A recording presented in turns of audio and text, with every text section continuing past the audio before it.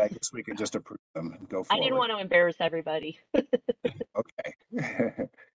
All right, fantastic. Moving on to consent items. Item two A, Steve Fiore. What you got for us, Steve? Uh, well, this morning I have one change order to report.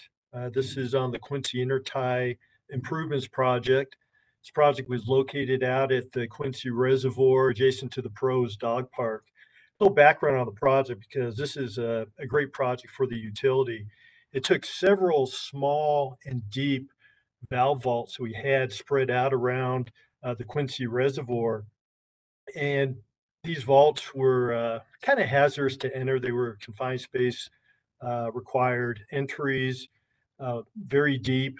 And what we did is we took these vaults and we combined them into a what we call it the super vault, a big two-story structure. Uh, doesn't require uh, any confined space entry.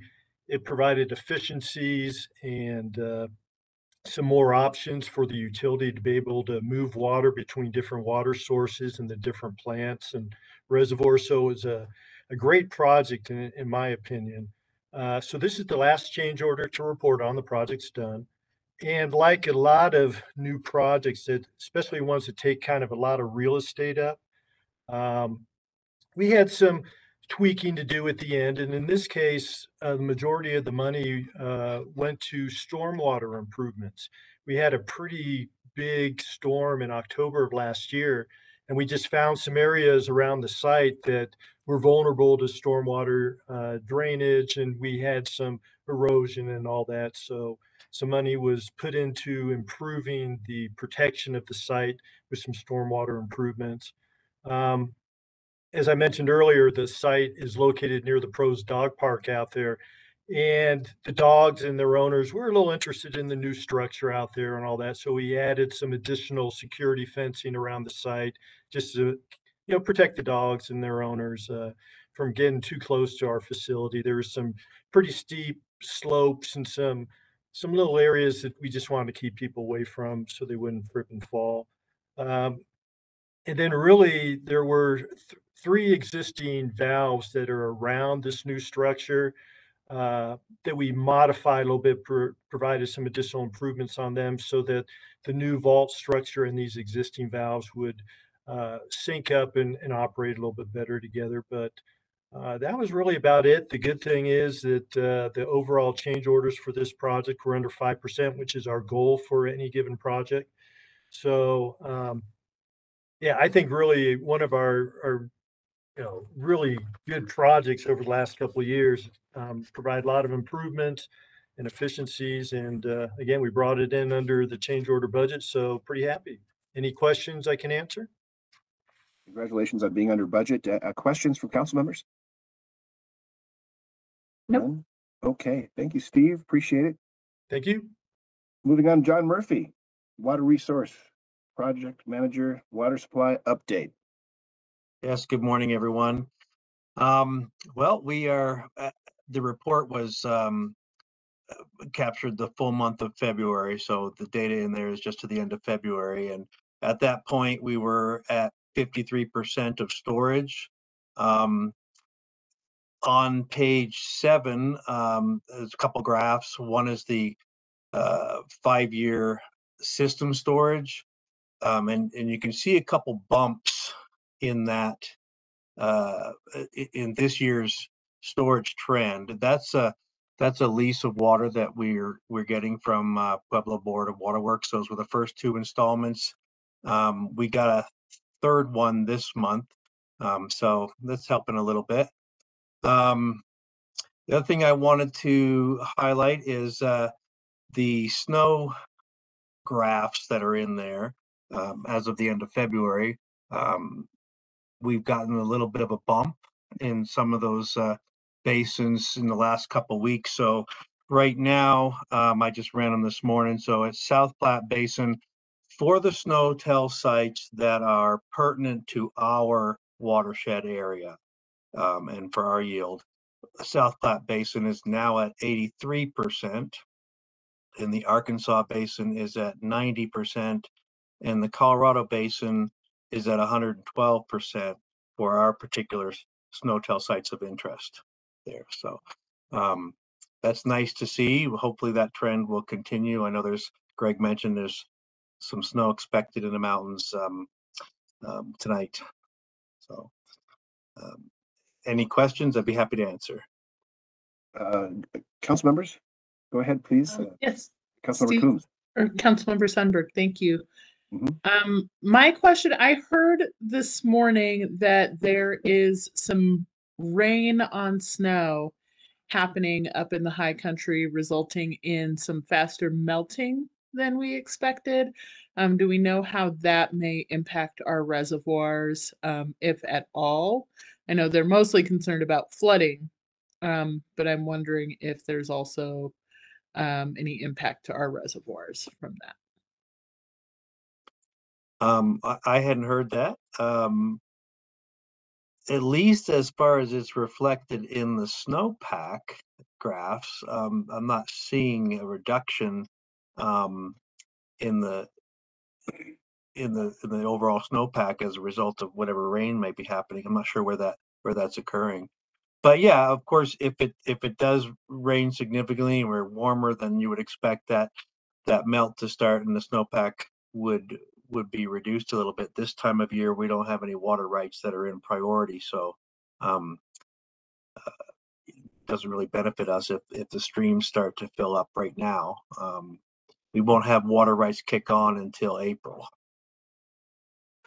So, sorry, as a follow-up, um, if there, so if a lot of melting happened now, could that potentially negatively impact us in terms of reduction of snowpack before our rights are called in?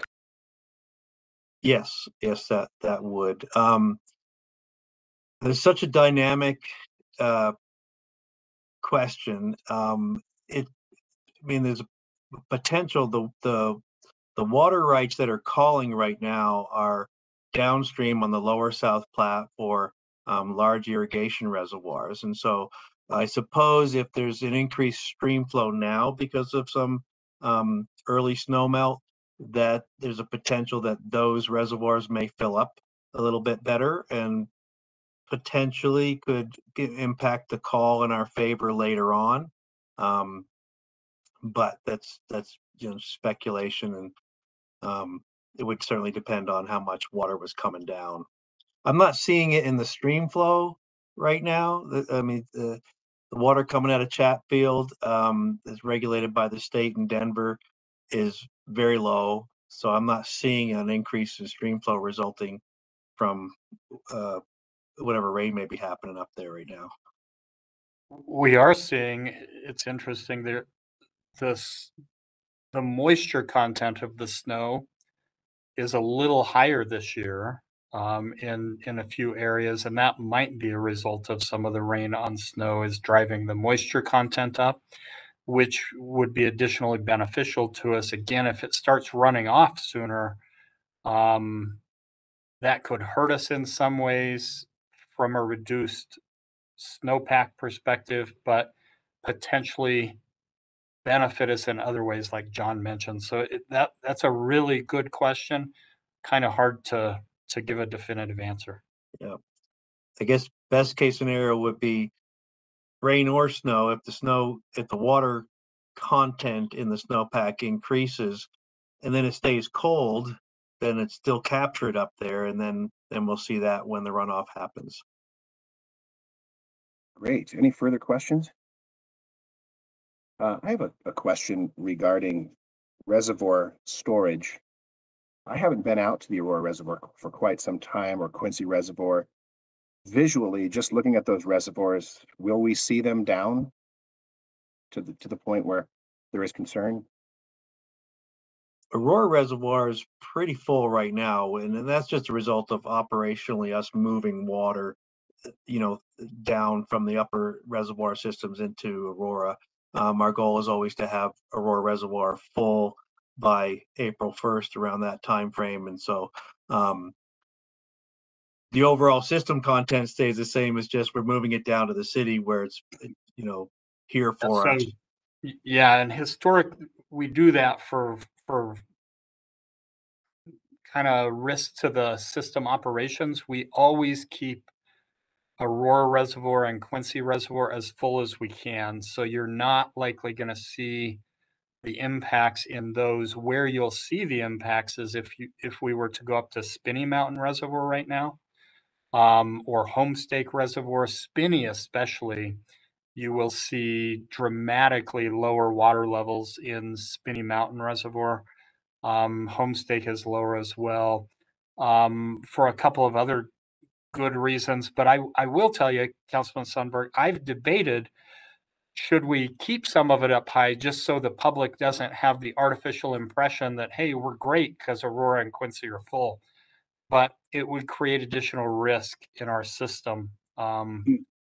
that probably wouldn't be a good idea. Thank you. I asked because we have a couple of doubting Thomases on our city council. Seems We do, and they probably drive out to Aurora Reservoir and say, it's full. You guys aren't telling us the truth. We need to drag them up to Spinney is what we need to do. I see, I see. Hopefully they'll take part in the water tour as well if they haven't, and I look forward to that. Yeah. Myself. All right, well, thank you for that. Uh, switching items from three to four, uh, in order here, reverse. Uh, Sarah Young, large industrial water users criteria. Yeah, great. Thank you. Good morning, everyone. And Greg, I, I should have probably given you a heads up if you can. Um, please let me share um, my screen. That would be great. Oops, there it goes. Give me a second here. Um, okay, great. Let me. Oops.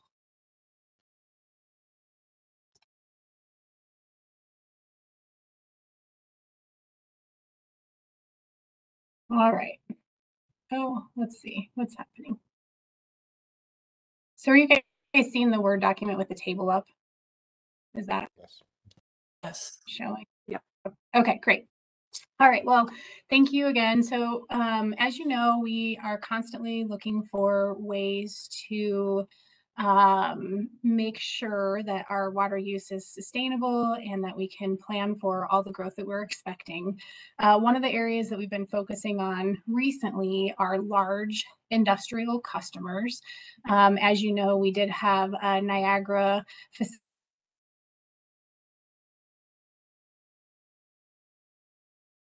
Oh, I think we lost you, Sarah.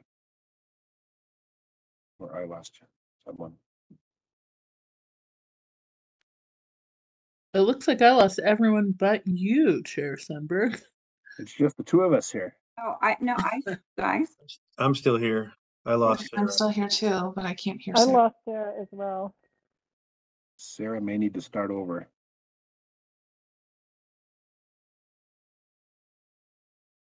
internet might have gone down. I don't see Sarah or Marshall or Greg, so I wonder if something happened at City Hall. Oh wait, now I see Greg. There, they're back. Okay. Okay. Hello? Can you, did our network go down here? It Yeah. did. Lost you for a bit there. Might need to. It start must over. have. Okay, so we're back.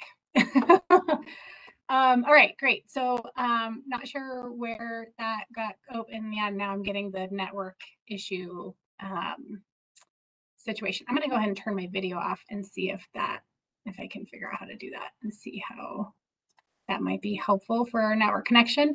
Um, okay, so in general, looking for, so I talked a little bit about, um, Niagara, maybe is where that stopped and um, trying to find a um, way for us to just make sure that the customers that are coming into the city um, are in line with kind of the water use and sustainability that we need in order to to provide future water supply.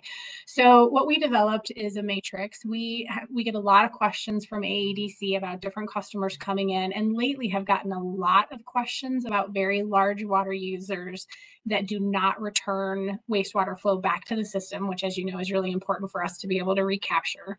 So, um, so the table that um, I believe I'm still showing here um, shows you basically what we've come up with. So, um, one of the ways that we're looking at water use is on a per acre water basis. And, and the reason we do that is that's how we do planning for our overall master plan.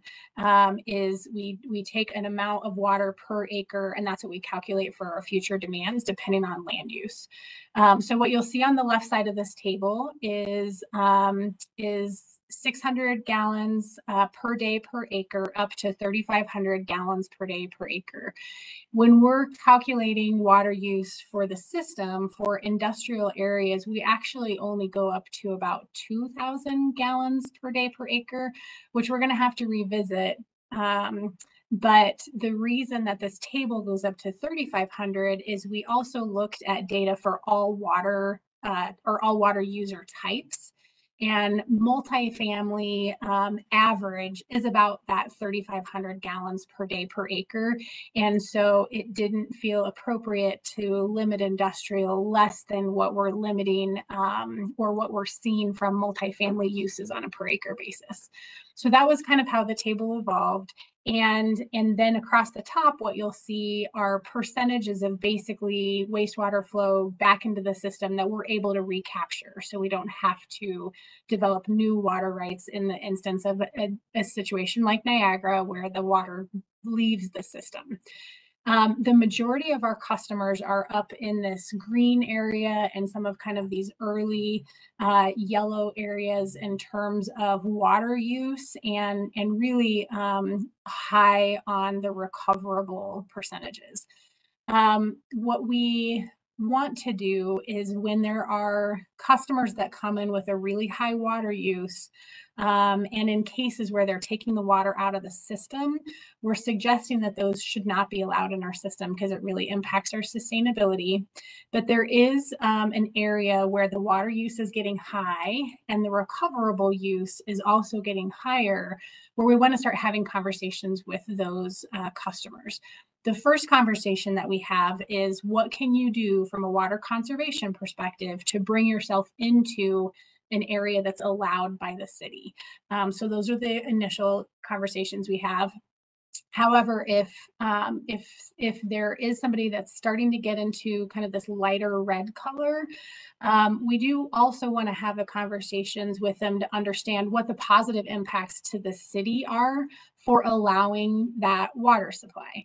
So some of the criteria that we have um, established in conjunction with the Aurora Economic Development Council, as well as our planning team, um, is is is up here where we have okay how many employees are being brought to the city with this customer? How many high value jobs are included in in that customer use? Uh, what is the capital investment into the city? Um, is there a diversity in the employer base? Um, is this a nationally recognized um, company that helps kind of put Aurora on the map? Um, and then also, is this a customer that supports an existing employment center? So those are some of the initial uh, criteria that we put together where we may want to make a decision to allow a higher water use or a, um, a higher kind of non-recoverable use um, because the benefits are, are worth it. Um, so when though that information, so what we've asked for from the from AEDC is when a customer comes into the space, again, we'll have a conversation to say what water conservation measures can you put in place to bring you into the yellow, green, or orange. Um, but if they can't get there, then basically a format that shows here's the location, here's how this um, customer impacts all those criteria that I just ran through. Um, we also are very interested about um, excuse me, about the water quality because we are going to be recapturing and reusing that water. We want to be really careful with with what's getting put into that water.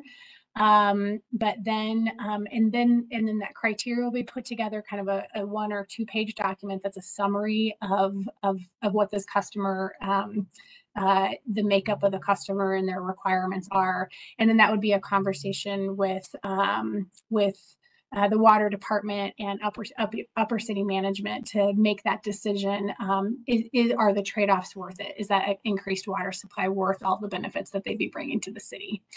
Uh, so the hope is that we will uh, move this forward into um, a policy um, uh, policy uh, portion of our criteria manual. Um, and so that was the hope today is to bring it uh, to you all for kind of considerations and feedback. Great, thank you, Sarah. Questions? Uh, yes.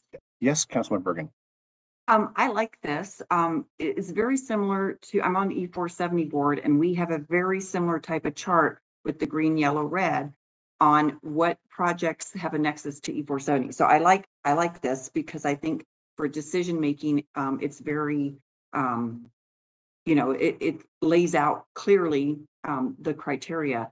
Um, so I, I, guess, could you go back to the, the criteria that we use in, yeah. Um, and that,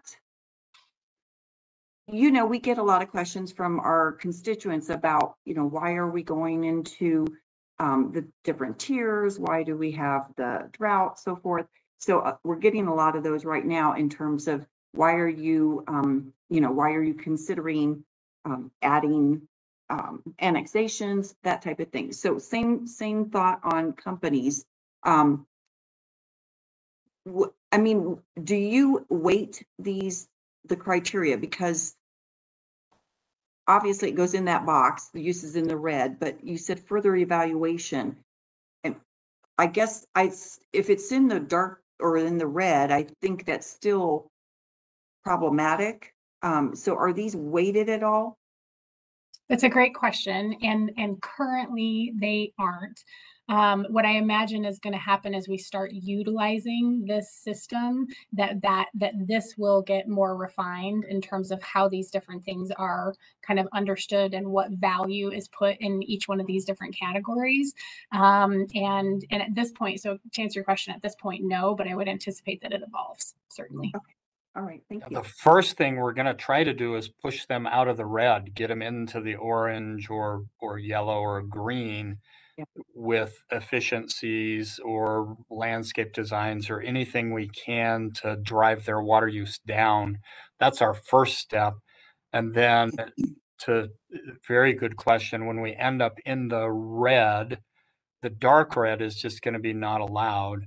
Right. The more bright red um, will be conversations that will have to evolve if we can't get them pushed into the orange or the yellow. Um, we're going to have to figure that out. And does weighting evolve? This is a bit of a new concept. We haven't applied this yet, so it will probably evolve and refine a little bit as we go along. And if I might, one more. Please. sorry.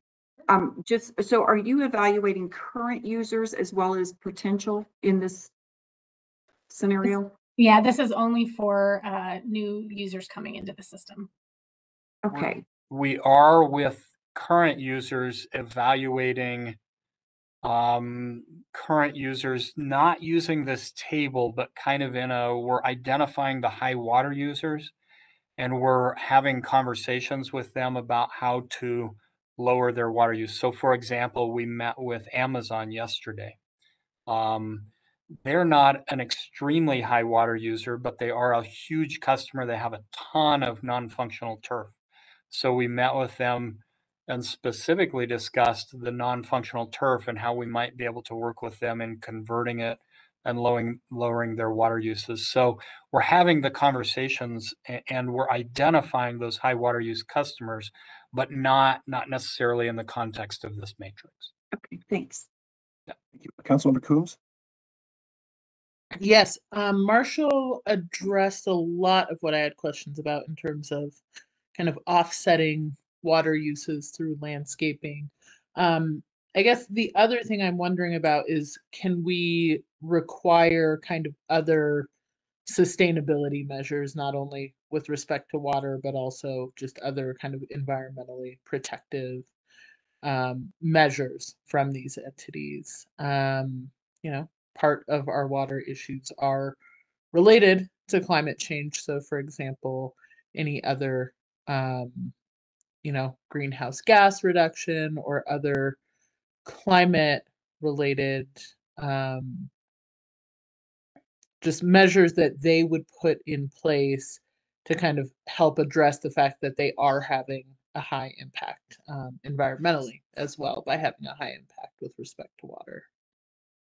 Yeah, that's also a really good good point. Um, we do have in our comprehensive plan kind of the sustainability section that focuses on not just water, but also gets into energy use, carbon emissions, kind of the, the overall environmental impacts. So we've prioritized, eh, well, we've identified the need to prioritize in those spaces. Water, as is maybe not uncommon, is is out in front a little bit in establishing actual criteria. Um, but what we can do, we are moving forward with the city's um, kind of strategic planning process right now that ties to the comprehensive plan goals and priorities. And so we will definitely flag that and look for opportunities. Nothing like that exists exactly yet, but I do think that's a good point. We should be able to identify other ways to incorporate um, more of those criteria into development moving forward. Thank you. So, uh, any, anything else from, uh, council members? Okay, so Niagara would be in the deep red here, I assume, It would be in the deep red, yes. deep red, okay. And what are some other users of water industrially that don't allow it to be recaptured? So one of the other ones that actually um, lands in the red or deep red, depending on, is a concrete batch plant. Is one of the other users. Um, there's, um, Is that Martin Marietta, perhaps? um, you know, I just looked at the meter data and the, and the so I'm not I'm not entirely sure in the customer number. Oh, Okay. But I but concrete batch plants as an example, right, is a manufacturing process where it's a high water use and, and leaves the system. And those have been a number of the questions that we've got that we don't always get told what the exact use is um, for new customers coming into the city um, when it's still um, kind of being handled just by AEDC, uh, but a lot of manufacturing specific uses. We've, you know, canning companies, food canning, beverages, um, those types of things have certainly uh, been in that space. Yeah, beverage companies would definitely be up in that space and, and we've dealt with some of those recently. They land in the, in the, or would land in the deep, deep red. And food processing, Sarah identified canning activities. So like vegetable or, or fruit canning processes also end up in the um, really high non-recoverable space. I see. Thank you. Thank you, Sarah. Um, I have, sorry, one more oh, question that came up, please go ahead. Councilmember Sundberg. Mhm. Thank you. Yes. Um, so where on this would fracking fall? I know that we don't want them to be bringing in water from outside in general, um, if they're otherwise permitted to operate, but in terms of just the volumetric use and how much of the water is non-recoverable. And then also you mentioned water quality. So even if it's recoverable, um, to what extent are there water quality issues with the water that is recovered with fracking? That's a great question. And I have not done that uh, math, but I will, and we'll let you know. Great. Thank you, Sarah. Thank you. And Moving on to Sherry, item number three, joint wet weather. Colorado discharge permit activities intergovernmental agreement. Hi, everybody. Sherry Skajari. Um, I think I've met most of you. I'm the Environmental Services Manager. And uh, we have this agreement with Mile High Flood District that um, they help Denver and Lakewood and Aurora with our municipal separate storm sewer, or you've maybe heard MS4 because who wants to say that big giant mouthful of words? Um, so our MS4 permit that's through the state we all um, the three of us are phase one permittees and that carries with it some requirements that by joining together we can do a better job of looking at data and just um, collaborating a little bit more through this um, especially the wet weather uh, stormwater runoff monitoring. So um, for instance, if there's a rainstorm, they go to these stations and they will collect samples, analyze them, and then they have historical data to be able to trend that and uh, see what we're what we can learn from that. Um, so that this is that agreement. Um, the agreement, the Aurora pays twenty nine thousand dollars for the participation in this group, And we're asking for you to be able to move this onto a council meeting for approval and signature. Any questions, concerns from council members? So that we can move it forward, it looks like. Item Right. moved forward. Perfect. Thank you, Sherry. Thank you. Item number five, Rich with the water storage project update. Good morning, everybody. Um, appreciate the, the time to come and give a, a storage update. It's been a few years, uh, since, um, since we've done this. And, uh, so we're gonna go over, um, just a few of the projects we've been working on, uh, on the storage front, uh, within the system. So I think Greg's gonna start, uh, the PowerPoint. There we go. Okay, Greg? So in terms of the agenda, um, little bit of a system overview, uh, talk a little bit, uh, you already I saw the uh, water supply update from John, so some of that will be a little repetitive. Um, and then we'll start in the mountains and work our way towards uh, towards towards the city. So, yeah, Greg. Um, so just kind of a system overview. Again, uh, 50% of our water comes from the South Platte Basin, uh, 25% from the Arkansas, 25% from from the Colorado. Uh, we have a few animations here um, in the next steps uh, to kind of highlight where some of the locations are. So Wild Horse Reservoir uh, and Box Creek are the first two on the agenda. Wild Horse is uh, located in the South Platte Basin, um, below the uh, Otero Pipeline and above Spinney Mountain Reservoir. So off-channel reservoir uh, that we've been um, um, working on since about 2011. Um, Box Creek Basin uh, or Box Creek uh, Reservoir is up in the Arkansas Basin, and it is in between uh, Turquoise uh, Lake and Twin Lakes, um, just adjacent to to the Arkansas River. um, the Recovery of Yield Project um, uh, site is uh, located down in um, Lower Arkansas Valley near Rocky Ford, uh, and that's to recover uh, flows that um, are being released out of Pueblo. And then we'll move up into the city, um, talk about uh, gravel pits up on the North Campus uh, associated with Prairie Waters, and then talk about aquifer storage and recovery, as well as um, future uh, potential east reservoir uh, east of uh, uh, east of Aurora. So, go ahead, Greg. So um, this graph might look a little bit different than uh, what maybe in your packet. We updated this this morning with uh, some new new data as it came in. So, and we truncated it down to, to back down to 2002 to present. So this just shows our system capacity from 2002 to now, as well as kind of where our water levels uh, currently sit. So you can see so the 2002 drought on the left hand side of the graph, uh, what that did to our storage levels uh, and and the recovery post uh, post drought. Um, in terms of system capacity, there, the heavy black line on the top, uh, you can see where we've taken um, uh, some facilities offline, Homestake Reservoir for maintenance, those kind of things. Um, and then the right hand side of the graph, you can kind of see the trend that we're in. And John talked a little bit about it, uh, but in terms of uh, the those peak uh, storage um, numbers after after runoffs occurred, uh, and and you can kind of see the trend that we're that we're moving towards uh, at the moment in terms of uh, storage levels. So. Um, similar graph, probably in the water supply update. Um, again, just current storage levels around 83,000 acre feet. Uh, Marshall was talking a, a little bit about Spinney earlier, uh, so that's kind of the visual uh, representation of of where Spinney's at, and of course, Aurora Res is uh, is much more uh, full uh, uh, in terms of its capacity. So uh, again, we're staging water where it needs to be uh, in, in anticipation for for the season. So um, jump into Wild Horse here uh, as part of the update again. Uh, zoomed in a little bit where you can see its uh, its location uh, in terms of uh, the South Platte and, and Spinney Mountain. so um, I, I believe uh, members of the committee have been back up to the site um, a couple of years ago.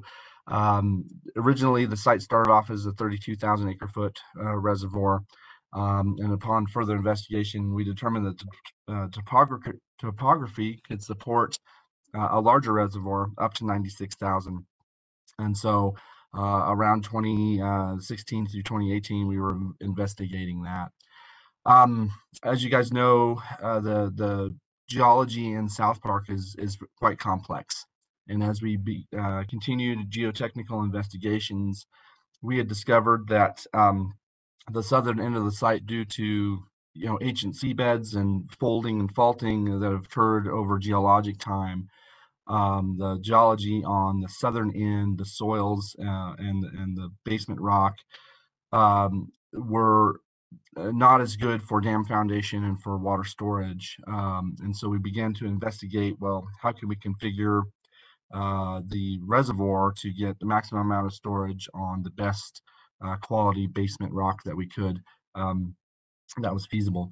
Um, and so you see a difference here uh, based off of uh, work that we've done in the last couple of years where we've changed uh, the footprint of the dam. So we've on that western side, we've swung that dam over to kind of cut off uh, the, the south end and we've raised uh, we've raised the dams uh, as well.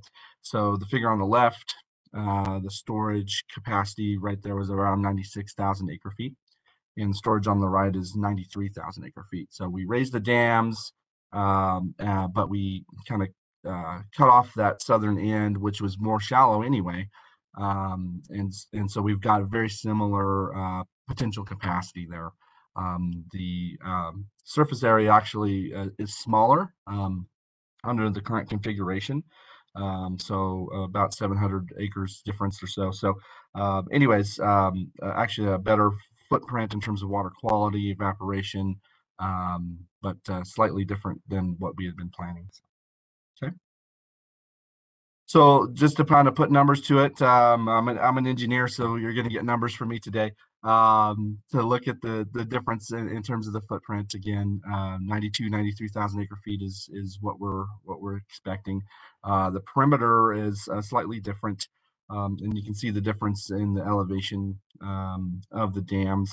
Uh, we've added um, um, a couple more uh, slightly different dams uh, because of the change of footprint, they kind of go in different locations.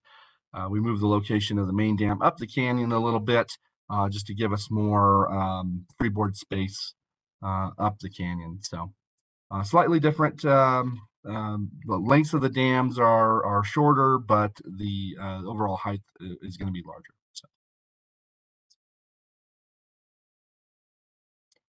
So in terms of the layout, uh, kind of backing uh, out from the from the map a little bit, uh, on the southern end of the site's the Otero pipeline. Um, we've moved intake a little bit further to the east uh, to basically align with the current county road. Uh, the topography there is a little bit better uh, for the hydraulics of that pipeline, given the new the new footprint. Um, and then we're investigating on the downstream side um, the pipeline outlet uh, back to Spinney Mountain Reservoir. So water to come in on the south side from Otero, come through the reservoir, re be released uh, back out to Spinney, uh, back out to Spinney Reservoir. We currently take our water right now uh, into Spinney Mountain Reservoir. Um, it comes through, um, uh, gets discharged out of the Otero pipeline, comes through a six mile open channel. Um, and so there are some operational um, uh, benefits to uh, moving water through the pipeline uh, through Wild Horse in the future. Um, freezing is the biggest issue there that we've got up there, and, and, open channel requires a lot more maintenance than a, than a pipeline does. So there's some benefits uh, to to moving our water through uh, through through the pipeline. Okay, Greg. So in terms of the uh, what's what's kind of coming up next uh, for uh, for Wild Horse and the work plan, there's been a few things that have already come through council uh, this year in terms of permitting. Um, uh, but uh, with the new footprint, some of the lands that we need have changed, and so we're um, going to be looking at acquiring those lands that are needed uh, outside of the outside of the footprint, uh, current footprint. Um, we are uh, also gearing up for additional geotechnical investigations this year. Uh, we plan to drill about 25 to 27,000 linear feet of uh, of borings, uh, so real um, intense um, geotechnical investigation to to really better understand the foundations up there and move from the feasibility level to the thirty percent design level uh, for for the reservoir. Um, uh, communications and messaging. Um, so we, uh, Greg has, has been putting together kind of our communications plan, um, identifying stakehold, uh, stakeholders uh, that we've already kind of started some engagement with. Um, and so we'll be doing a lot more communications uh, with uh, conservancy districts, uh, the county, um, and uh, probably local landowners uh, up there as as the project moves forward. So much more um, messaging and communications going on uh, within the project. Um, on the permitting side, we've made a lot of headway this year. Uh, we um, secured a uh, collection agreement with the BLM. The BLM is the Bureau of Land Management is the lead federal agency uh, that we have to permit this project through. They hold property within the footprint, and so we have to get a right of way uh, from them to develop the site. Um, and so uh, our first step with them is was was developing that collection agreement, which we took to council earlier this or um, late last year. Um, that allows us to uh, fund the staff at the at the BLM uh, to work on our project. Uh, recently, we had the memorandum of understanding come through, uh, which basically outlined our responsibilities and and the BLM's responsibilities for the permitting moving forward also allows us to hire uh, the third party consultant who will actually author the environmental document, the EIS uh, document. And so um, that MOU has been done, and we are working on the RFP process now uh, to uh, get that consultant hired. So, under the current regulations, Aurora is allowed to hire that third party. Uh, we've worked um, with with the BLM to develop that scope of work. Uh, so that's probably the next document that council is going to see um, in terms of permitting is is that RFP uh, and the selection for that um, uh, consultant. So that's a huge huge step for the project to get that consultant on board because once they're up to speed, the federal government can initiate the the official permitting process and we can get underway. Um, we're also concurrently uh, working on some of our raw water modeling. Um, so looking at how uh, Wild Horse will fit into the system, how we will operate it, uh, how we will use it to move water around uh, within within the system, um, and develop the scenarios that we need to give to the third party to uh, to investigate as part of the environmental document. Um, the uh, design of the Otero tap. So um, I mentioned that we moved the location a little bit uh, to the east uh, where we're going to take water off the Otero pipeline. So uh, that's something that we can go ahead and start um, is looking how we're going to make that connection to, to that pipeline.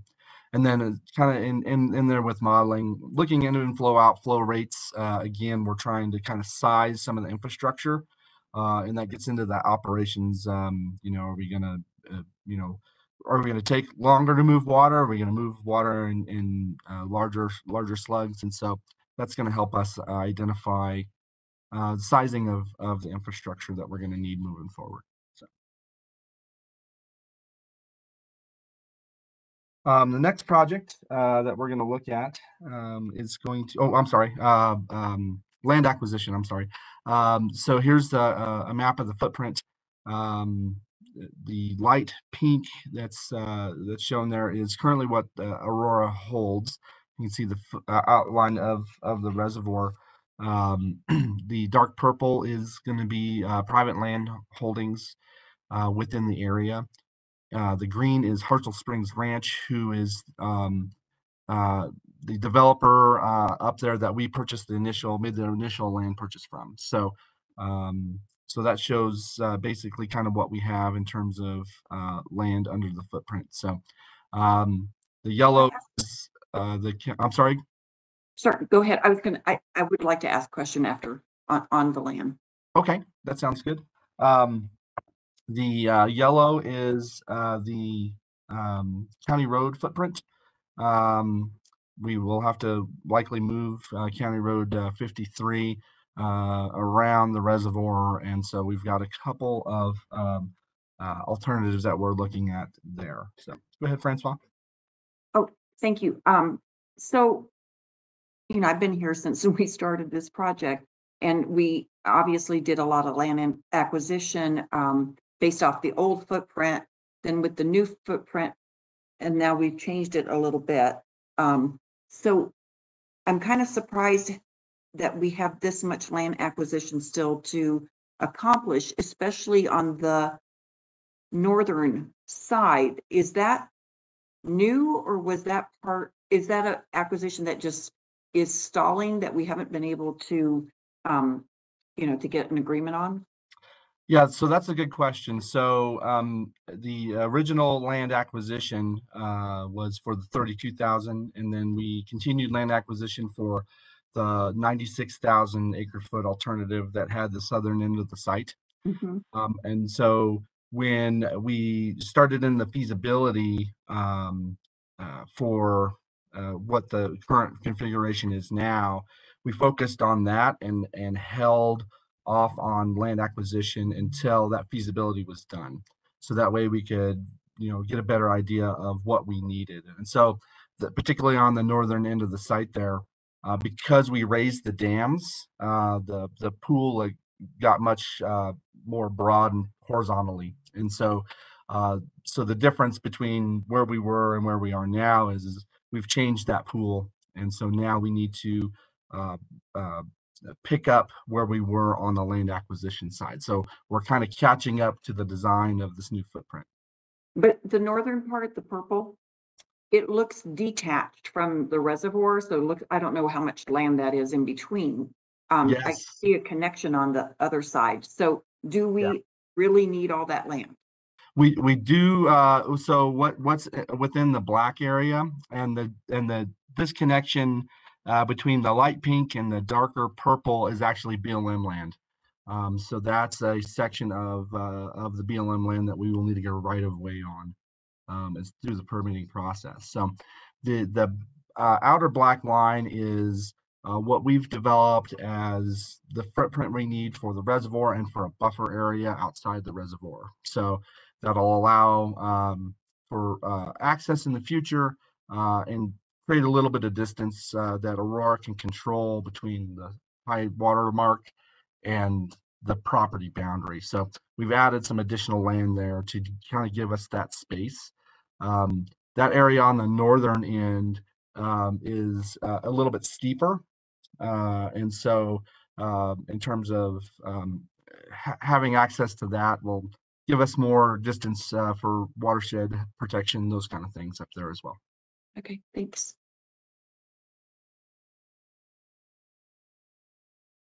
Okay, Greg. Um, so moving on uh, to, to Box Creek Reservoir. Um, again, it's located in the Arkansas Basin uh, between Turquoise Lake and, and Twin Lakes. Um, 25,000 acre foot reservoir. Um, we would uh, fill it off of the Arkansas River um, and then discharge back into the Arkansas River. So uh, it would serve the purpose of allowing us to um, facilitate some of our exchanges um, that we operate from the lower Arkansas Basin up uh, up into the uh, upper Arkansas Basin uh, with the goal of uh, uh, getting water into Twin Lakes so we can get it into the Otero pipeline and and move it to to the South Platte Basin here to Aurora. So um, go ahead, Greg. Uh, so the Box Creek uh, project, uh, again, uh, that 25,000 acre foot, um, uh, that's the, the optimal size to avoid the, the Bureau of Reclamation's pipeline on the western side um, of the project. So uh, we've been working on it for the last few years, predict, predominantly around some of the wetlands up there. Um, the Hayden River parcel, which is just east of the site. Um, we uh, have an approved uh, bank from the Corps of Engineers. Um, the wetland bank will allow us to uh, inundate and remove existing wetlands uh, that we have on the Box Creek site uh, in exchange for other wetlands that we have developed. Um, so it's kind of a trade of wetlands um, as part of the mitigation that we will have to do uh, when we develop the site. Um, we also have a, a determination, a preliminary determination from the Corps Engineers on the wetlands.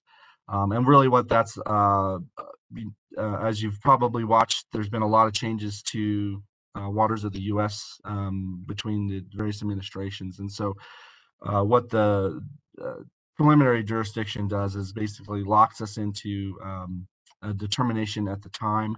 Um, and then once we're ready to do the project, we'll move that over to an approved uh, determination and we will know exactly what wetlands we need to mitigate. So moving forward. So that was a major step in terms of getting uh, the Corps to uh, to agree with our delineation uh, for the wetlands on the site. Um, so now we'll know what we're facing uh, once we uh, once we go to develop the site.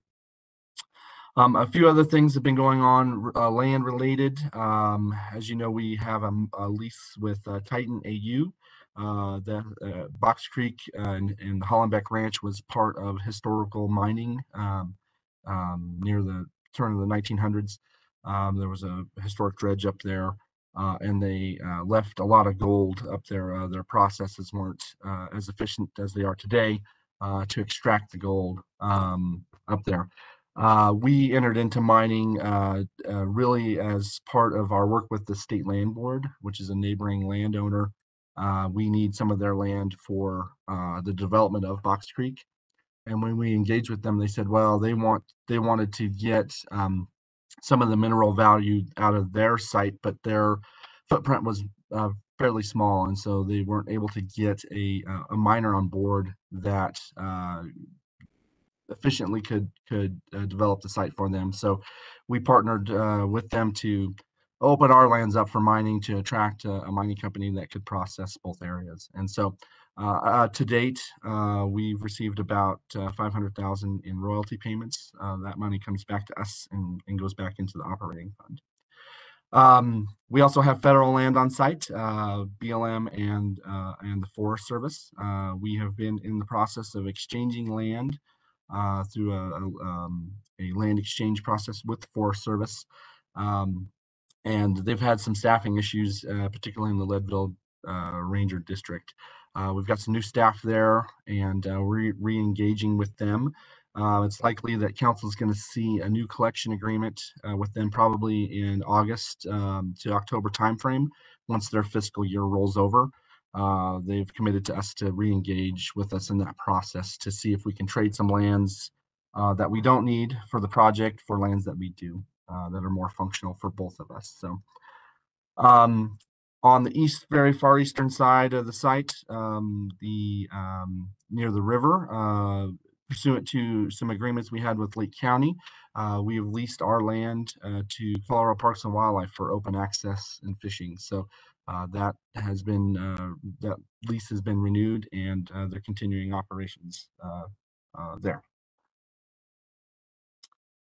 Um, again, uh, also a lot of stakeholders associated with projects. So we're we're staff is continuing to stay engaged with Lake County Open Space Initiative. It's a consortium of environmental groups, the county, federal agencies. So we're still still engaged there with them. Um, we're doing a lot more additional modeling of looking at how uh, Box Creek is going to fit in with with the system. Um, I already talked about uh, the uh, land exchange um, with um, with Forest Service. Um, wetlands banking in terms of on the permitting side, we're really focusing on those wetlands and uh, making sure that we're uh, maintaining the established bank. Um, and then in terms of project management, because this is located in the Rocky Ford office, uh, and there's a lot of connections, particularly to the county up there. Uh, we're moving the project management uh, from uh, back down to the Rocky Ford office.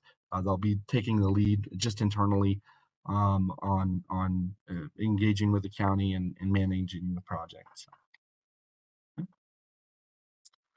Um, Hey, Rich, bef- before you move to the Roy project, I just wanted to clarify a little bit. When, when Rich talked about the revenues coming in from the mining and he mentioned it comes into the operating uh, budget, that's not exactly um, probably descriptive enough of what happens with that.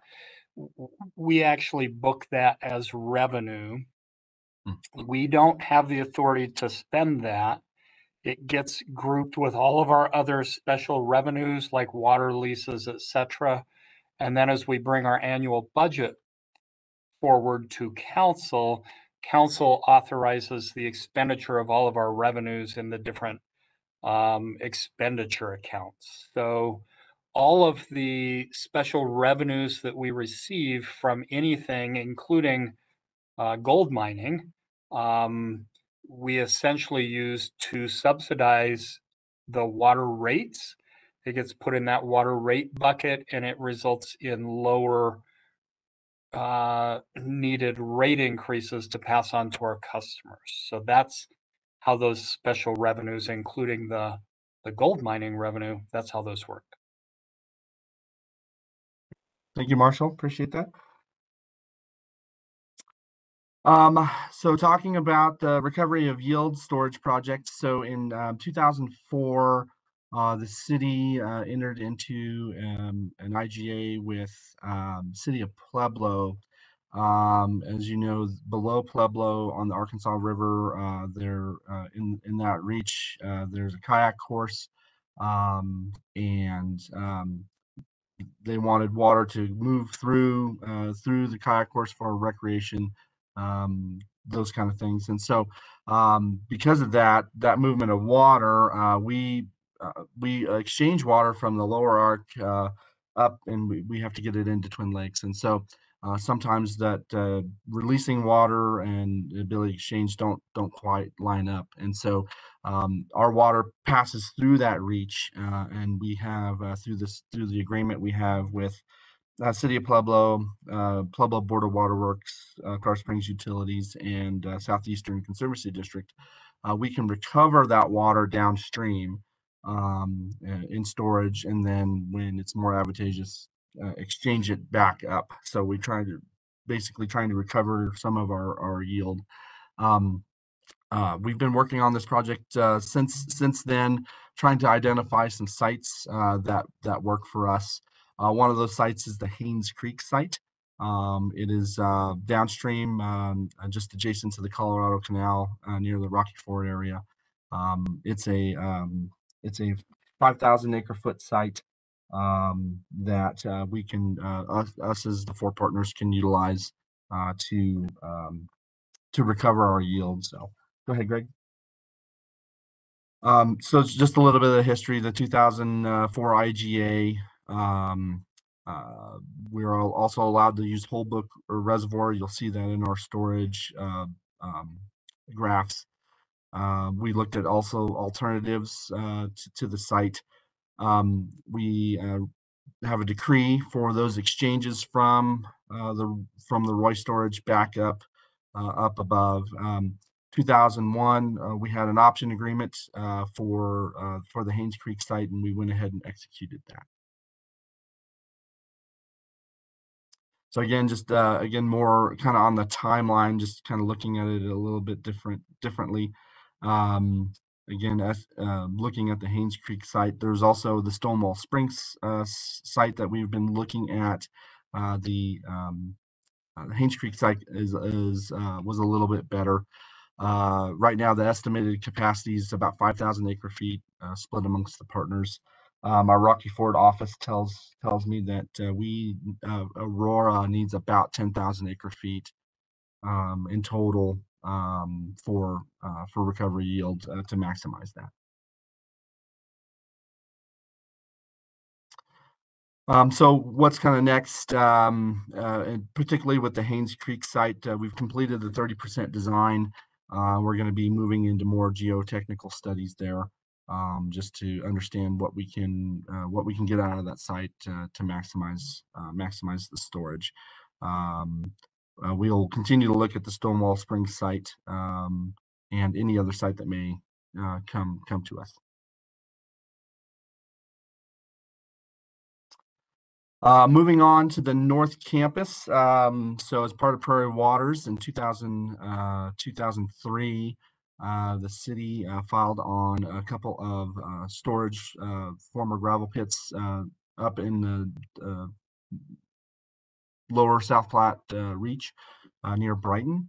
Um, and we've continued to work on the development of, of storage up there. So the Walker Complex, Tucson South, um, Prairie Waters came in in terms of the well field was developed up there. So Uh, we have augmentation needs uh, in the future, uh, and those um, reservoir sites will be used to capture our reusable effluent um, and help us retime that again to to augment uh, the Prairie Waters project and the depletions associated with the wells. So, adding more and more operational flexibility um, is is the purpose of uh, those sites up up north.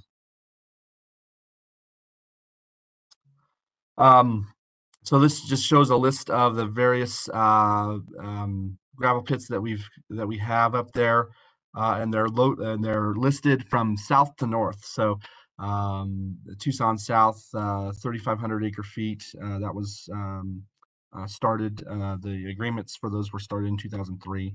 Um, Aggregate Industries, our miner up there, they're going to be finishing that site in 2030. Uh, Challenger, Walker, Kirby, Dersham are all kind of part of the Walker complex. Um, we're working on um, looking at developing infrastructure for those sites.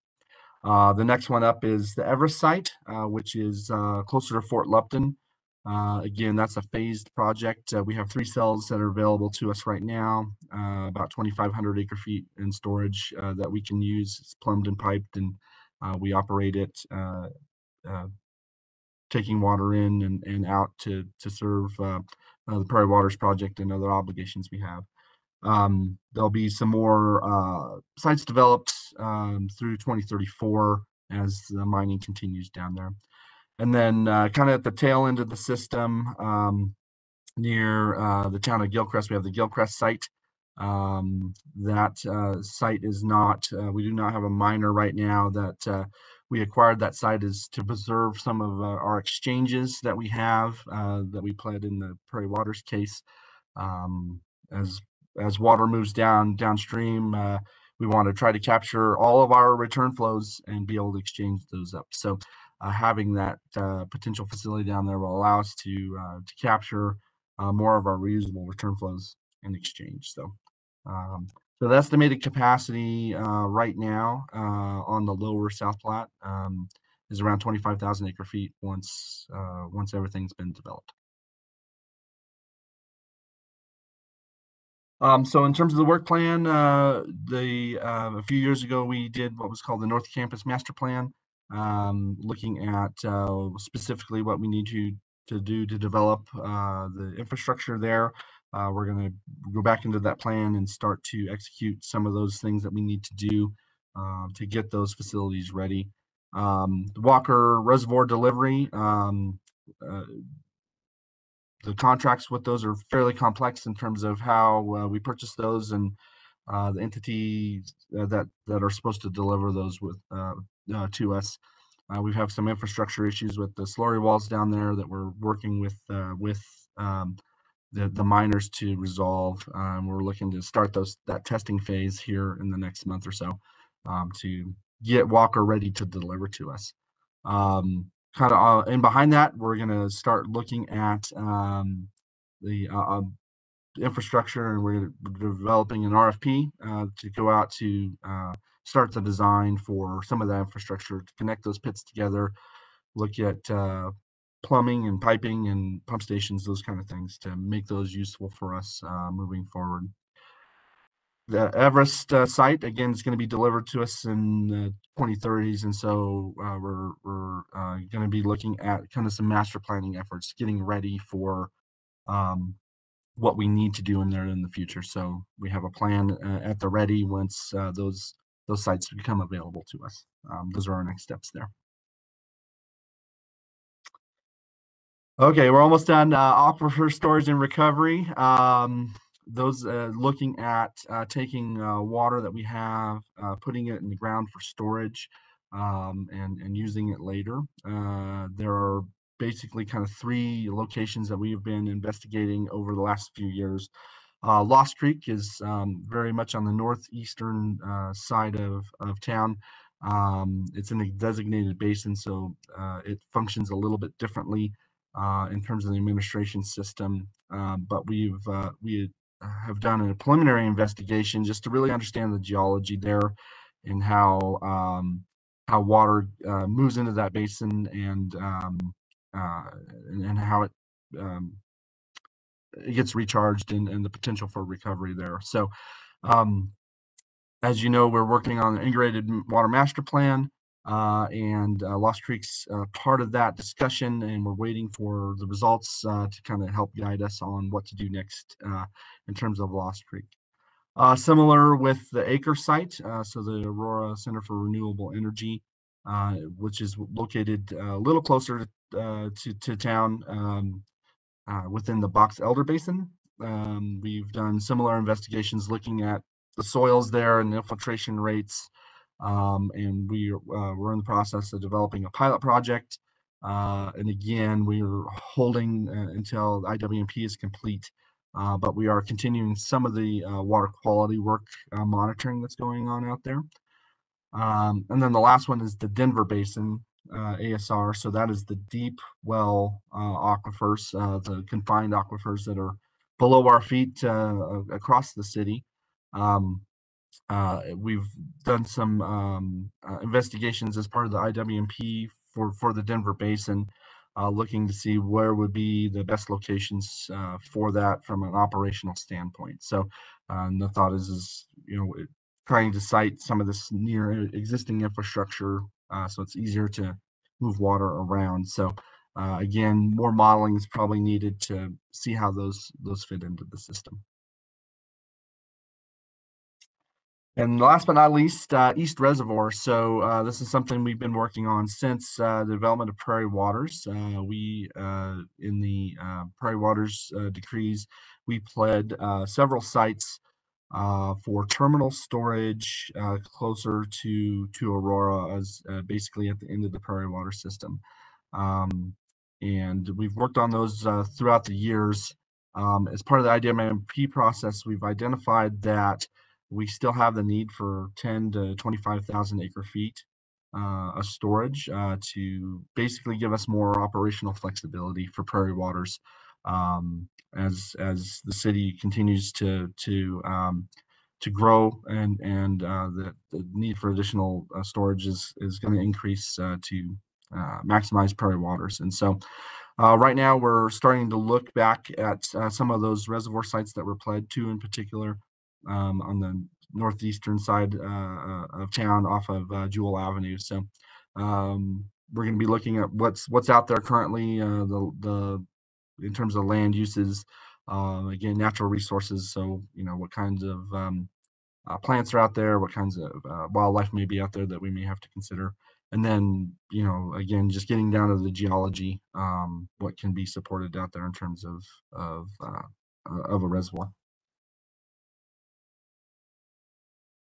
So that concludes uh, the presentation. I know that was a lot to take in. Uh, this is a rendition of uh, what a wild horse may look like, uh, looking on the, the eastern side of the site back to back to the west and the main dam there in the canyon. Thanks, Rich. That's a lot of great information and we could dedicate an entire meeting to. subject. I have a lot of questions, but uh, Françoise, Councilmember Bergan or Coombs, any questions? Uh, a couple. On the East Reservoir, um, you will be taking into consideration any, um, any oil and gas operations, I would assume? Yes, we will. Uh, yeah, we will look at uh, oil and gas operations out there. Uh, again, as part of that land investigation, those current uses. Okay, um, and then my second question real quick was on, back to the, um, the wild horse on the permitting, um, with the BLM. Um, is there anything, um, that council should be doing in terms of lobbying at the, at the, uh, you know, at our congressional level, um, to help with that process?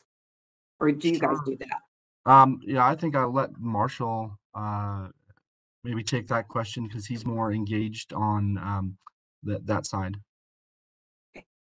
And I can jump in as well. I was just gonna say, uh, we are working really well with the BLM right now.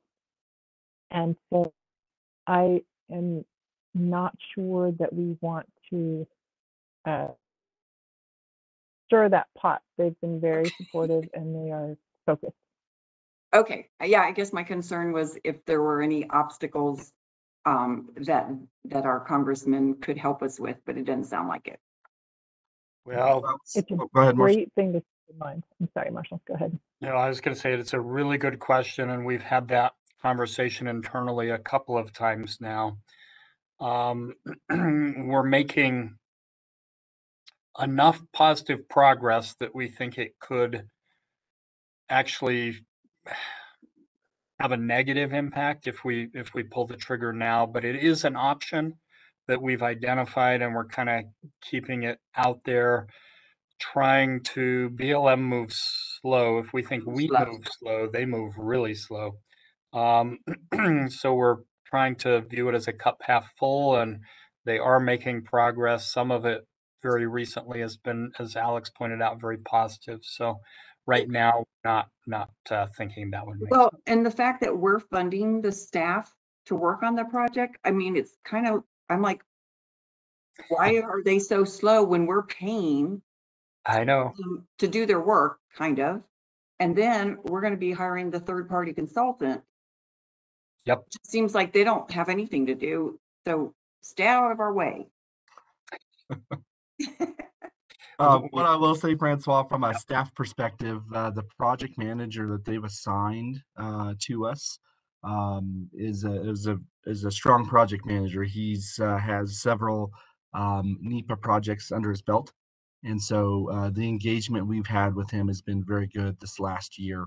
Um, we've got regular meetings with them now, uh, and so uh, we are um, we are seeing a lot more progress with them within this last year Great. uh, you know, and and having the MOU uh, outlining roles and responsibilities has been very helpful because uh, we we kind of know where uh, each of us stand and what we're responsible for.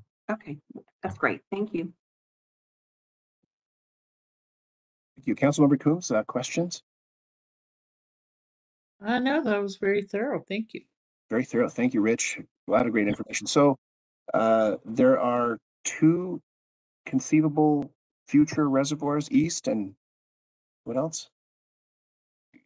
Sort of set aside for, Well, and there there were originally uh, five or six locations identified, um, and we've kind of narrowed it down to what we think are two of the two most feasible sites that meet our needs right now.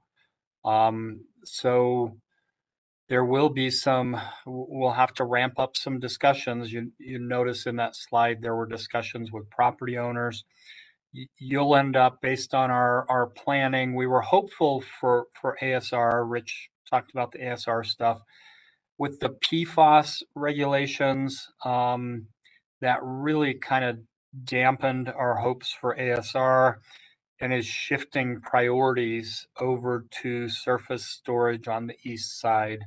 So the box creek while while we've got activities ongoing out there um, we're having to prioritize the storage buckets on the eastern side ahead of Box Creek, ahead of ASR. Um, what that does is allows us to take advantage of our reuse water coming off of the South Platte train. So the radial wells that we're moving forward with right now and the volumes of water we'll be able to get out of the South Platte in order to maximize the use of that reusable water in our system year round, we have to add storage. And so that's where we were hoping it would be ASR. That doesn't look as hopeful anymore. And so we're looking at surface. okay, But thanks, we Marshall. will only choose one of the two. Fantastic. Mhm. Lots of science there. Thank you. So to honor uh, Catherine and Kevin's time here, moving on to number six, direct potable reuse project presentation.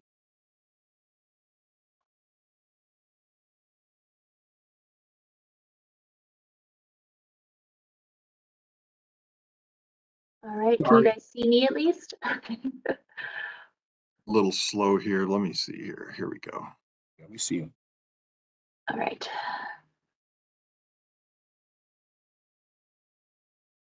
Hopefully everybody could see that. Um, good morning. Thank you for the opportunity to come and, and talk to you today. Catherine and I are here to discuss with you a very important project for Aurora Water and the city of Aurora, uh, not only in the near term, but what we believe, uh, for the future as well.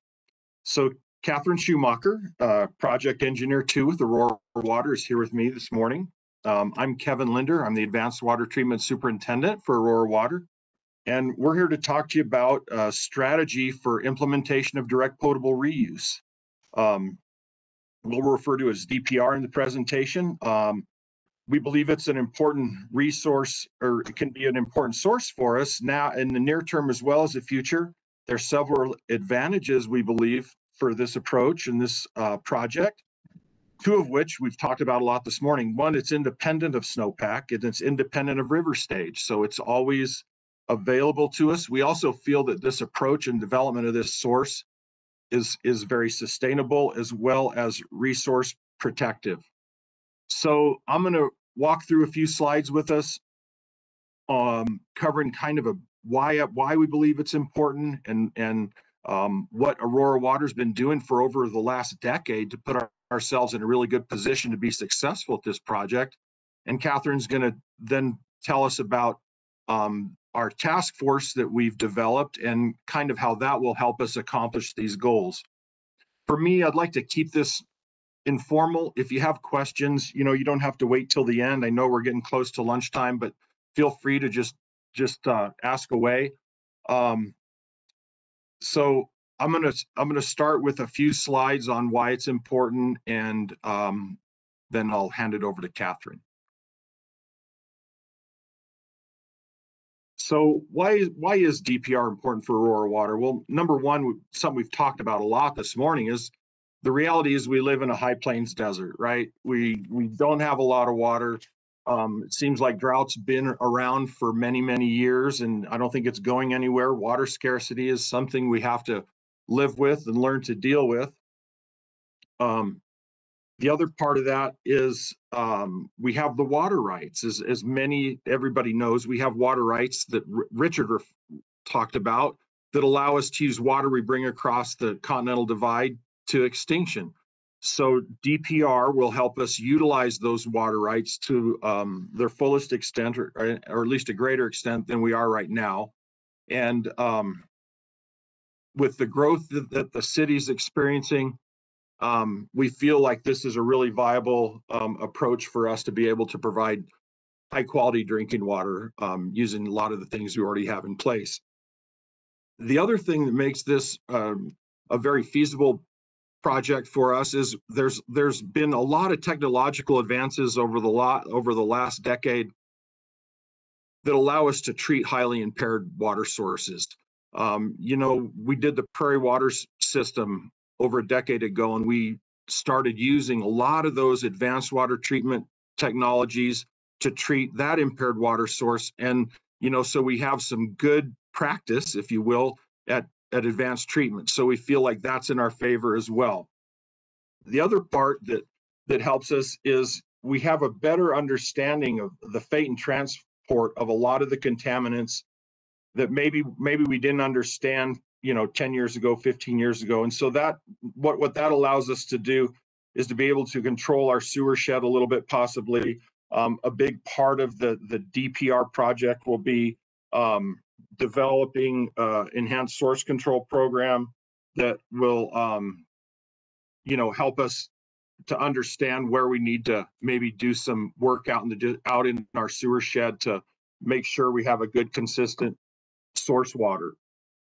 Um, and then I just wanted to underline again, we've been doing potable reuse for over over 10 years. And so we feel like we have learned a lot and we're in a good position to do um, DPR.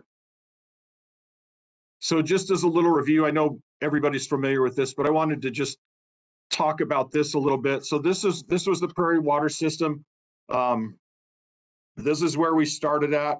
Remember, we have the South Platte River that has um, down, it's downstream of the metro area. We have 23 alluvial wells along it, and we've been very successful at treating that to a, you know, one of the main goals from when we started the Prairie Water System was we wanted to make sure that that water from a very impaired source was indistinguishable from the water from our mountain source. And I think we've been very successful for that. So just as a reminder, this is kind of how this all started up here. Um, we're bringing water through the through the riverbank into our wells, and then we bring it down to Binney and we treat it through some advanced advanced uh, water treatment technologies. And so um, the biggest difference that I wanted to point out between what we're proposing with direct potable reuse and what we're doing already with indirect potable reuse is just this river, what they what they refer to as an environmental buffer. So what we're proposing is we're going to remove that environmental buffer and take highly treated wastewater from Sand Creek and put it into this Prairie Waters line and be able to use that source and bring it back to Binney. You know, we have to we have to go through a process of of defining some possibly additional treatment processes, but we feel that this is very doable for us. Um, and the, again, the multiple barrier approach is something that we've had success with, with and we will continue to um, implement for, for this project. Um, at Binney, we use uh, softening, uh, advanced oxidation with hydrogen peroxide and, and high levels of UV light. Um, then we have some biological filters as well as some uh, adsorb- adsorbers. And so we feel like we have a lot of these, these um, processes in place we're very good at using a lot of them, and they will be required as part of the, the DPR um, approach moving forward. Um, so, like I mentioned, we were Marshall asked us to develop a task force to to develop this, to look at it, to to really dig in and try to move forward with making DPR a reality. So we we wanted to define what our purpose and kind of our mission and value was so we know where we're going. And so our purpose is to develop, to develop a strategy for implementation for DPR at Aurora Water. And we feel like overall our vision is to continue leading the industry in the protection of public health, never compromising public health through development of innovative, sustainable water purification using DPR, DPR to maximize existing source water supplies. We feel that's really key and is really important. And, and as a underneath that umbrella vision is our mission to accomplish that. And we want to provide high quality drinking water through implementation of DPR using advanced purification technologies for reusable water supplies to meet all regulatory requirements and future drinking water demands. And many of you probably um, know that in the last couple of months, the Department of Health has finalized or, or at least promulgated uh, the DPR regulation into the drinking water regulations. So the way we, we believe we want to um, accomplish this mission and vision is we develop some goals, um, one of which is to execute those policies that the Department of Health have, have just put out. Um, we think that that that's possible. Um, our goal is to have eight to 10 MGD of DPR to our customers on or before 2030. So, um, you know, that's not a hard deadline. We believe that, you know, we maybe could do it earlier, maybe a little bit later, but our goal is 2030. And that's right in alignment with the Integrated Water Master Plan 2 uh, findings as well. So we feel that, that that's a good goal for us. We want to also enlist a consultant to assist in defining our optimal DPR implementation scheme. And we need um, their support in development of the DPR application to the Department of Health. And just to, uh, to uh, underline that that DPR application isn't something that can be done in a day or two or a weekend. It's actually a multi-year effort that requires lots of piloting, lots of testing. We want to make sure that that as we go down this road that we're always protective of public health and putting water quality as our top priority. And so there's going to be a lot of testing to make sure we accomplish that because that's always our our number one priority. Um, we want to involve essential stakeholders such as yourself in the development of dprs we go down this road. And now um, I'm going to hand it over to Catherine to tell you a little bit about how the task force is structured and will function. Okay, I'm sorry, I have a noon. I feel so bad. Ah. Um, so I'm going to try to get this through with this, but I don't want to rush either. So um, I might have Kevin jump back on if we didn't, if we don't get through all the slides. But um, this is our structure. Um, it's a kind of a, a, hierarchy here with an executive board um, at the top, which will help direct and provide executive oversight of the task force as well as help us provide um, and allocate resources and support to get the work done um, and be accountable for enabling success. Um, right now, we have identified the executive board as Marshall, Sarah, and Todd um, as kind of our, our three executive board members. Then below that, we have the chairs, which is myself and Kevin. Um, I'm kind of in the construction management engineering side, and Kevin's the operations treatment chair. And so, believe between the two of us, we hope we have um, the high level uh, requirements kind of um, overseen. There's we will be responsible for overall coordination and performance and completion of the mission and objectives that Kevin has gone through. We're also going to help um, balance competing resources and uh, allocate resources, as well as liaison between the various other levels of the organization chart. Then below that, we have our steering committee. Um, there's various colors you see on the slide here. Um, the colors represent the different sections of the DPR application. So you can see environmental compliance actually has three elements to it, enhanced source control, regulations, and lab work. Um, and so we have the steering committee kind of at that higher level to direct and help these work groups, which are going to be below them, carry out the work. And they're going to steer the work groups, um, help them achieve goals, again, to meet our mission and purpose and objectives. They're also going to help provide input and direction to the um, uh, uh, the chairs and then executive board. So it's kind of roll up and down. And then the, um, I won't say the lowest level because they're not lowest. They're just our workhorses here. They're going to be the various work groups, which are going to be the workhorses to get the different elements of the application together. And they're divided again into the different elements of the application. So treatment ops and piloting will be under the treatment ops steering committee. And um, they'll kind of be working with the consultant and internally to use as many resources as we can internally to get the application and all the, the items together for submittal to CDPHE. Um, and then um, I think the next slide, if you can go to the next slide. Okay, so path forward here, we are meeting with the steering committee members to walk through the DPR application framework and recruit um, our internal resources as, as we have available to us. We have actually already developed the charter. The charter um, is our overall roadmap of what we want to accomplish. So high level risks, high level requirements, high level goals, um, identifies key stakeholders, identifies roles and responsibilities. Then um, we're going to delve down even further and identify um, project requirements from that level. And then what else? We're going to evaluate the application tasks. And we've done a lot of work already and have completed a lot of tasks in deciding if Aurora wanted to do this and pursue this endeavor. So there's a lot of homework we've already completed and assignments we've already completed. We're going to pull all that together and leverage that as we move forward.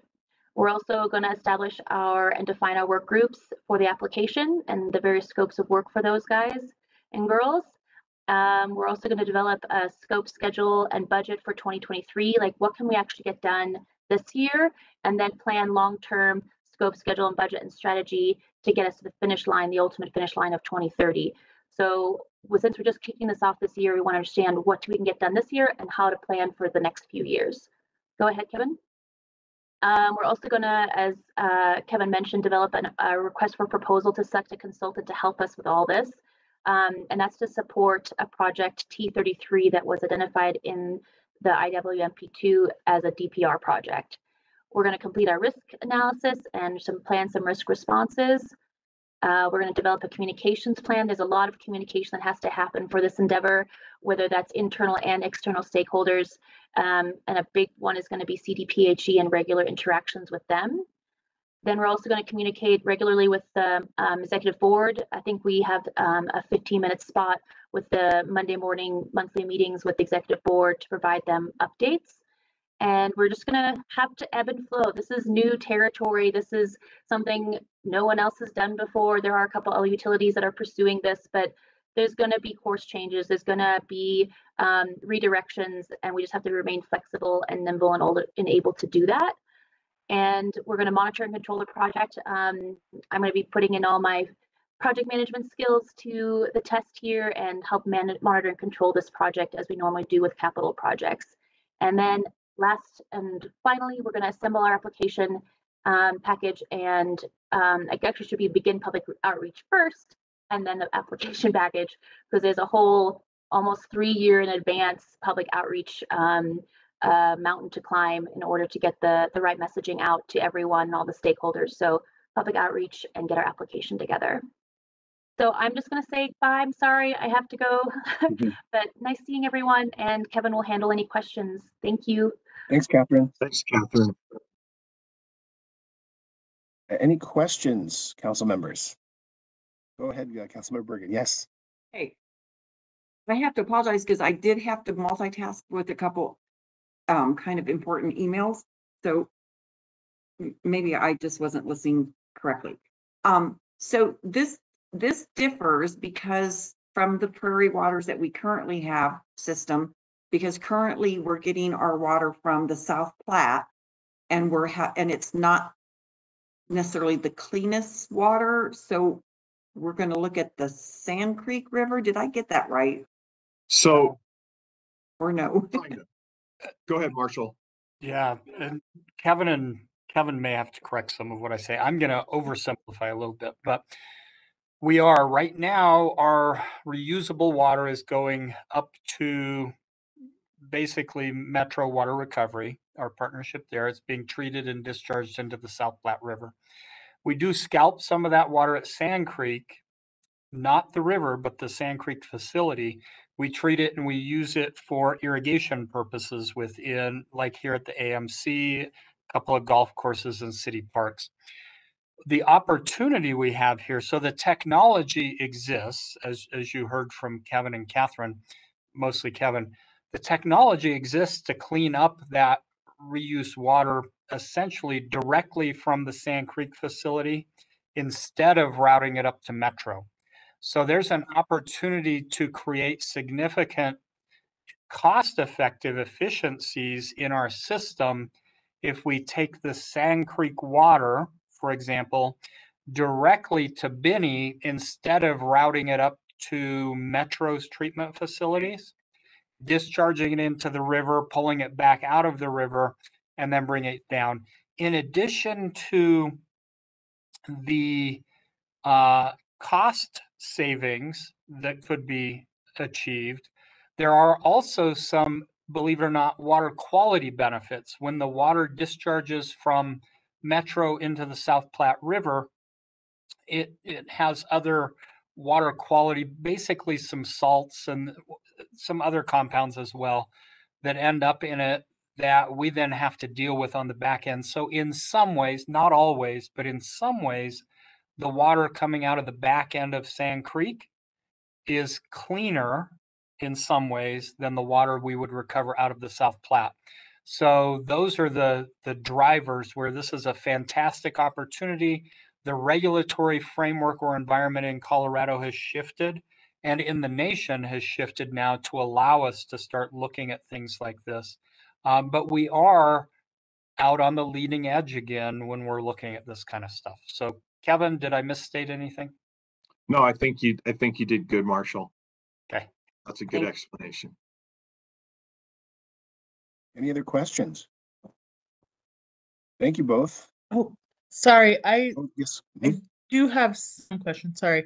please go ahead. Um, so you said there's cost savings presumably from the cost of transporting the water, pumping it, all the electricity costs, et cetera. Um, but I know we've also been having an increase of costs for kind of the chemicals and other aspects of the treatment process. So if we're doing a higher volume of water through that treatment process, is that gonna involve increased costs on that side? And then do we just think those will still be offset by this, by doing this instead? A good question, and Kevin can definitely answer in more detail than me, but very good point.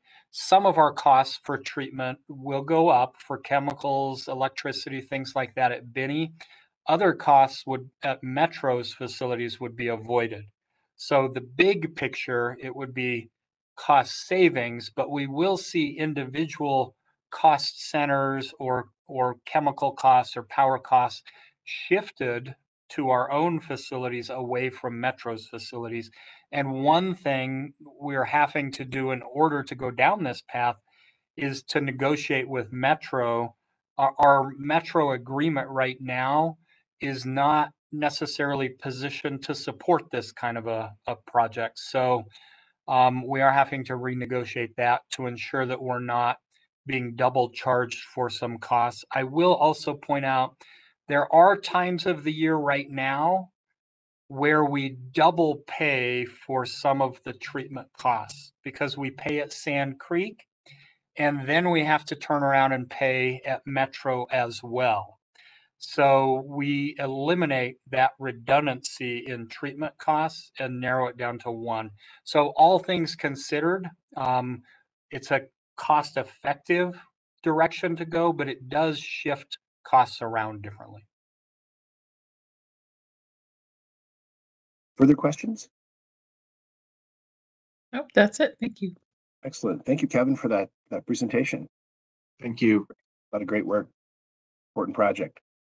Thank you. Uh, miscellaneous matters of consideration. I have none. Marshall, anything? Any, anyone else? No, I, I will just thank Kevin and, and uh, I think I did it with Rich also for letting me weigh in on their presentations. They did a fantastic job. And, and our staff here in Aurora Water, uh, the expertise uh, that the staff have is just amazing to make these projects happen and, and things work. We are a young water utility and being so young um, is good and bad. It requires that we think outside the box, which is good and bad. But again, the staff, the staff in Aurora Water is is amazing in being able to to prepare us for the future. Yes, they are. They, they make you look good, sir. They do. Fantastic. Well, thanks for your patience, everyone. I'm just going over a few minutes and confirming our next meeting will be April 19th. And have a wonderful day, everybody. Thank you. Thank you, you too. Thank you. Thank you.